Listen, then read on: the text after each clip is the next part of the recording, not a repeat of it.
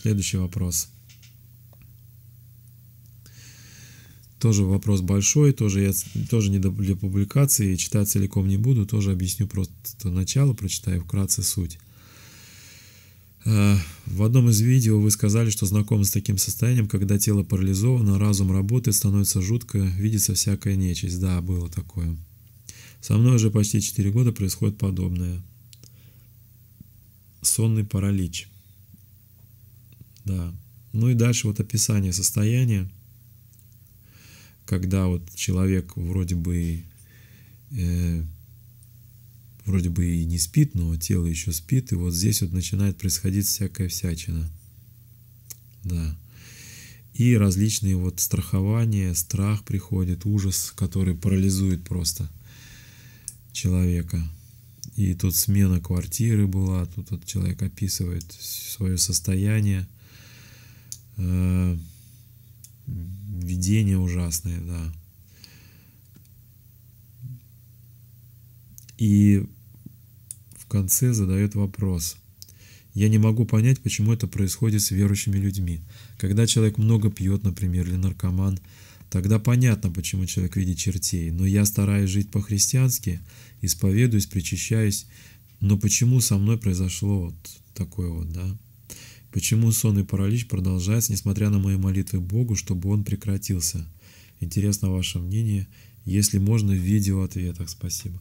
Да. Э, да, вы знаете,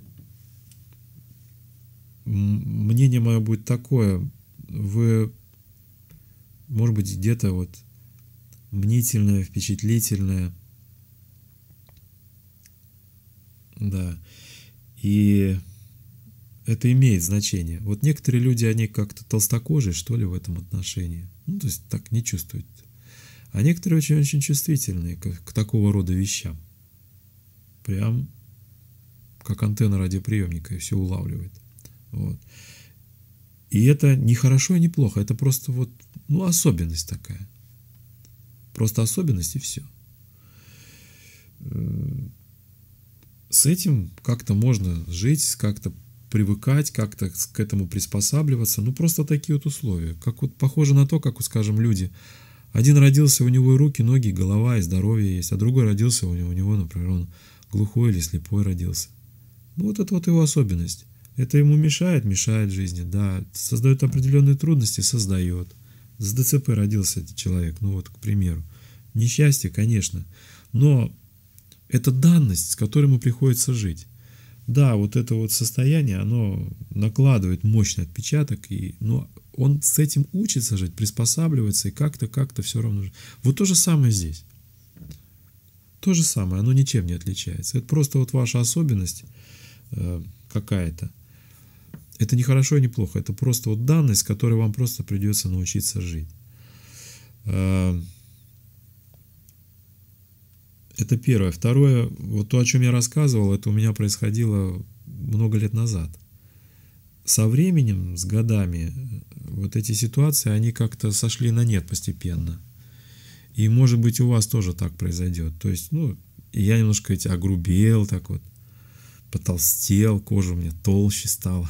Я меньше стал этих вещей ощущать. И слава богу.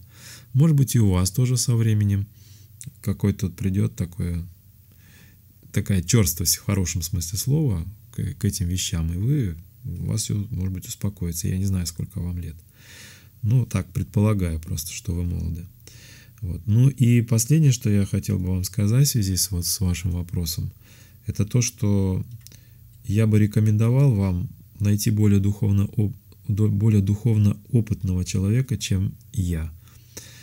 Эм, то, что вы описываете, это я в нем, вот в этом в описании, я не увидел никаких следов э, того, что можно было принять за ну, психическое что-то заболевание, отклонение или еще что-то. Это действительно у вас что-то происходит, по-видимому, явление такого порядка духовного. И здесь нужна помощь ну, человека более духовно опытного, зрелого, нежели я. Поэтому я больше вам ничего не смогу сказать, кроме как, возможно, появится такая возможность, масло масляное, э, в каком-то монастыре, может быть, встретиться с каким-то старым священником, монахом, который, с которым, которым вы, может быть, поговорите, и что-то он вам, может быть, подскажет, скажет, что-то, что-то свое там скажет. Вот это не значит, что вам нужно с завтрашнего дня бегать, сломя голову искать, но если вдруг ситуация сложится, используйте эту возможность. Помогай Господь.